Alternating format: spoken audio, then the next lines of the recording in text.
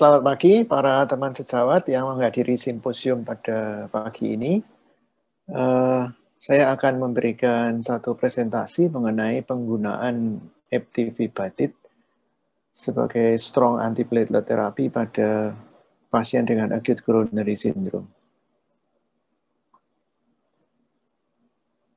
Nah, seperti kita ketahui bahwa uh, acute coronary syndrome maupun chronic coronary syndrome itu memberikan angka kematian yang tinggi sampai sekarang. Dan komplikasi yang terjadi bisa begitu banyak sampai yang berbahaya.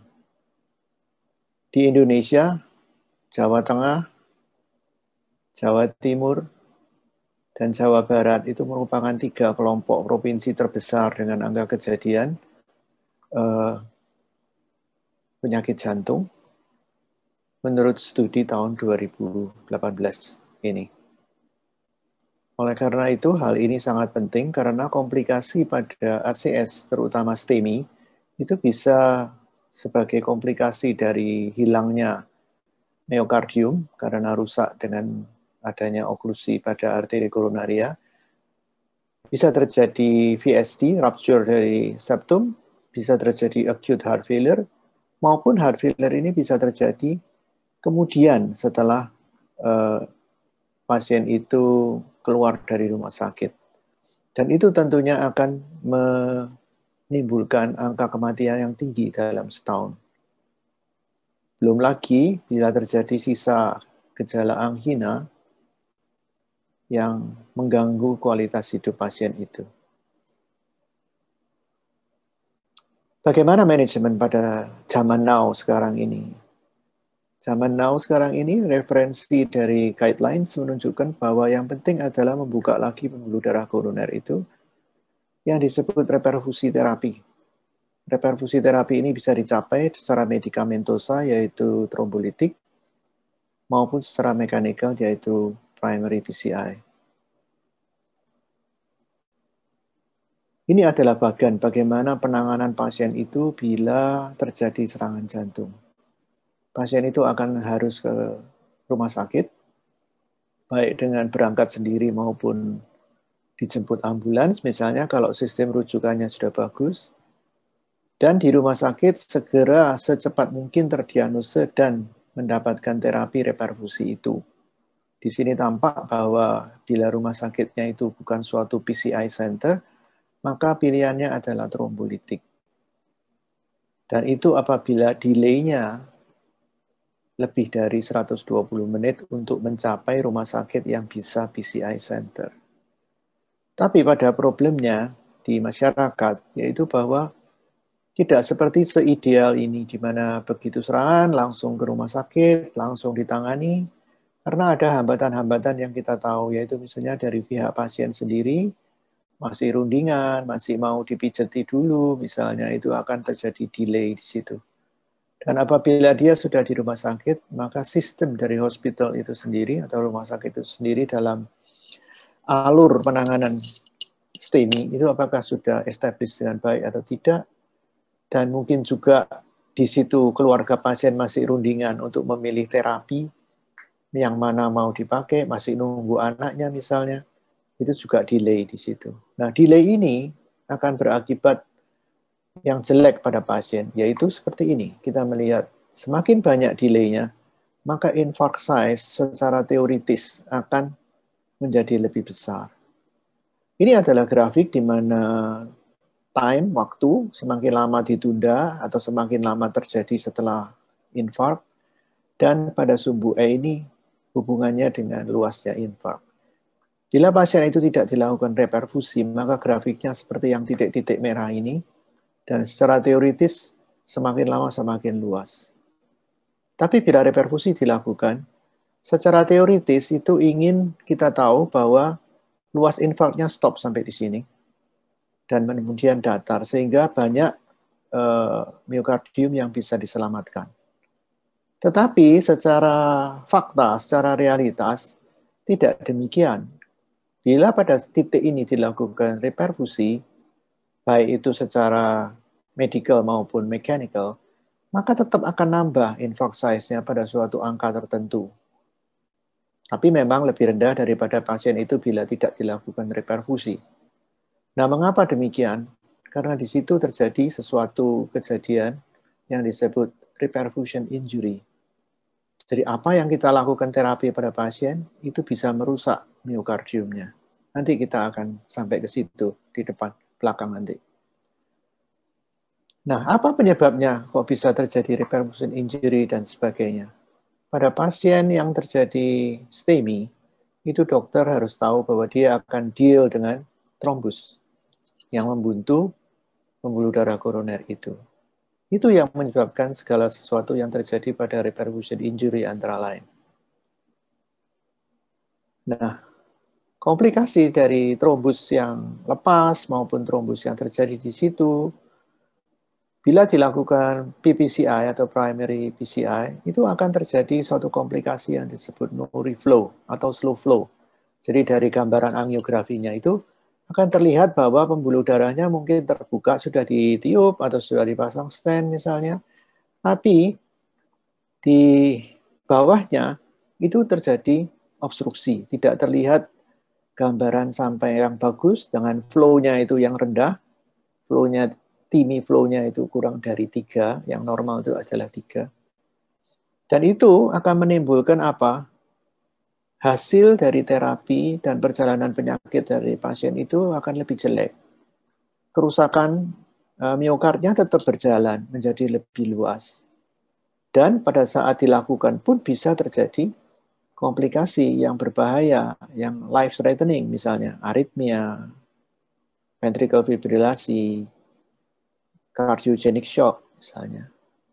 Nah, jadi ini yang harus dicegah pada saat terjadi uh, eh, PPCI. Penyebabnya apa? Mekanisme dari no reflow tadi itu adalah terutama distal embolisasi. Dan itu menyebabkan reperfusion injury. Sekitar 40 sampai 60% persen penyebabnya dari slow flow atau no reflow itu adalah distal embolization. Bila itu terjadi, waktunya bukan jam-jaman yang harus kita tangani. Dalam menit kita harus bisa reverse uh, no reflow itu menjadi normal flow. Ini satu contoh di mana didapatkan uh, STEMI inferior. Kita lihat di sini ada total oklusi di proximal RCA. Kemudian oleh operator ini dilakukan tindakan revaskularisasi saya tidak menceritakan prosesnya bagaimana, tapi kita lihat hasil akhirnya pada gambar yang sebelah kanan ini. Perhatikan uh, pada proximal RCA-nya ini dilakukan pemasangan stent di sini karena buntunya di situ. Dan kita lihat di bawahnya mid RCA sampai distal RCA tidak ada penyempitan yang berarti. Puaskah kita dengan hasil seperti ini? Kalau kita lihat tidak puas harusnya. Kenapa? Karena di bagian distal dari pembuluh darah arteri koroneri kanan ini masih didapatkan oklusi. Kita tidak bisa mendapatkan uh, gambaran TIMI 3 flow di sini. Ini adalah gambaran TIMI 2 flow. Lambat. Dan dia terjadi staining di sini. Kontrasnya tidak hilang. Stay di situ lama. Itu menunjukkan adanya okludit dari kapiler di miokardium. Nah, ini bukan suatu hasil dari primary PCI yang baik. Ini kalau menurut saya, saya anggap ini ya failed. Tindakan yang failed. Seharusnya operator harus mengejar sampai daerah yang di distal ini dan myocardium terbuka. Tidak boleh berhenti sampai di sini. Oleh karena itu, Eric Topol pada tahun 1993 dia mengatakan coronary revascularization itu tidak otomatis terjadi coronary reperfusi. Kenapa? Karena coronary revaskularisasi kalau kita hanya berpikir pada epicardial artery, bukan berpikir sampai kepada myocardial perfusion, maka tidak akan didapatkan terapi yang benar di situ. Oleh karena itu, tujuan dari reperfusi sebenarnya adalah menyelamatkan miokard. Berarti reverse dan reperfusion flow-nya itu harus mencapai miokardium. Karena itu semboyannya time is muscle. Muscle-nya itu myokardium tadi harus diselamatkan. Nah, ini yang harus dicamkan pada operator atau dokter yang menangani STEMI, baik secara mekanikal maupun secara medikal. Nah, ischemic reperfusion itu merupakan salah satu reperfusion injury maksudnya itu salah satu manifestasinya adalah uh, no reflow tadi. Kita harus berusaha supaya ischemic reperfusion injury ini minimal. Tetapi sampai sekarang obat-obat yang diperlukan untuk memperbaiki atau menghambat reperfusion injury ini belum banyak yang berhasil. Nah, satu-satunya yang kita bisa secara praktek itu adalah mengurangi distal embolisasi tadi, sehingga blockage di myocardium atau kapiler dari pembuluh darah koroner itu minimal. Karena itu bila terjadi blockage yang banyak, akan terjadi no reflow. It's 20 hours. Nah, itu akan berkonsekuensi angka kematian yang lebih tinggi. Dan juga komplikasi, yaitu gagal jantung, itu lebih tinggi. Dan mortalitas mendekati 9%. Nah, bagaimana supaya kita jadi lebih baik? Supaya lebih baik, kita memberikan obat untuk supaya distal embolisasi bila terjadi agregasi trombositnya direndahkan supaya tidak terjadi blockage di kapiler. Di sini peranan dari GP2B3A inhibitors. Karena dia merupakan suatu antiplatelet yang sangat kuat yang diberikan secara parenteral.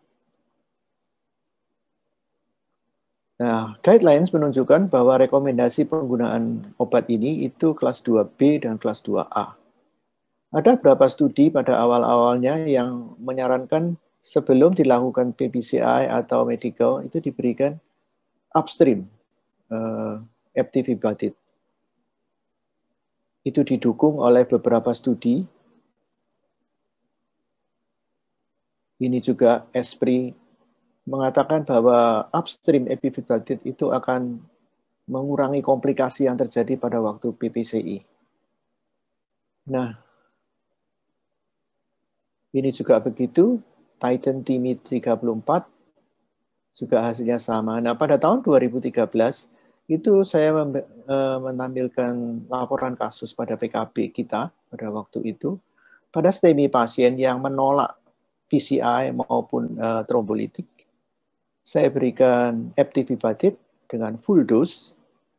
Waktu itu ada serial kasus 6. Dan kita lihat hasilnya seperti ini. Ini adalah gambaran EKG pada waktu pasien itu datang di IGD, didapatkan elevasi di inferior leads dan posterior leads. Dan setelah diberikan FTP beta dalam waktu satu setengah jam, terjadi isoelektrik. SD elevasinya turun menjadi normal dan tidak ada penambahan gelombang Q pada semua leads. Suatu hal yang sangat hebat menurut saya waktu itu. Dan dengan KIE yang baik, tiga hari kemudian pasiennya mau dilakukan angiografi maupun PCI. Kita lihat ya, kita sudah mendapatkan TIMI 3 flow pada tempat yang belum dilakukan itu, kiri dan kanan. Dan itu menunjukkan hasil yang sama sesuai dengan uh, literatur dari penelitian dua tadi yang sebelumnya disebutkan. Dan komplikasinya menjadi sangat ringan karena trombusnya sudah minimal, bahkan tidak ada trombus. Ini satu contoh hasil dari uh, primary PCI yang baik. Ini kita lihat sama total oklusi pada proximal RCA. Kemudian ini adalah hasil akhirnya. Kita bisa melihat bahwa cabang-cabang yang distal semuanya terisi dengan baik. Dan flow-nya pada saat penyemprotan kontras bisa langsung sampai ke ujung dari pembuluh darah itu. Ini yang disebut TIMI 3 flow. Dan pada posisi RAO, kita bisa melihat tidak hanya cukup TIMI 3 flow, tapi kita harus mencapai myocardial blast grade 2 sampai 3. MBG ini itu menunjukkan perfusi dari myocardium. Di sini akan tampak gambaran blast yaitu merona. Rona yang warnanya abu-abu di sini. Itu menunjukkan pengisian pada kapiler yang bagus sekali. Nah, ini adalah hal yang ideal yang harus kita capai bila melakukan primary BCI. pasien ini dengan bantuan aptivibatid pada waktu uh, mulai dilakukan. Nah, kadang-kadang penggunaan GP2B3 inhibitors ini juga penting pada elective PCI dengan tujuan sebagai bailout bila terjadi komplikasi. Ini adalah satu contoh. Distal RCA 80%, kemudian dilakukan balun. Setelah balun didapatkan trombus yang besar di situ, filling defect. Kemudian diberikan GP2B inhibitors dan dipasang stent. Namun setelah stent dipasang juga terjadi impending acute closure pada stent itu didapatkan filling defect di sini. Nah, pada pasien ini sangat dicurigai adanya resistensi pada antiplatelet per oral sebagai persiapan tindakan. Nah, ini kita mesti siap dengan GP2B3 inhibitors untuk mengatasi hal tersebut dan segera mengganti bila dicurigai adanya resistensi terhadap antiplatelet. Ini adalah hasil akhir pada gambar yang terakhir. Kita lihat tidak ada trombus lagi, dengan hasil TIMI Flow 3. Demikian, jadi kita lihat bahwa sekali lagi GP2B3 inhibitors ini penting membantu kita sebagai uh, apa namanya uh, obat yang membantu supaya apa yang kita lakukan itu tidak sampai terjadi hal yang fatal pada pasien. Terima kasih.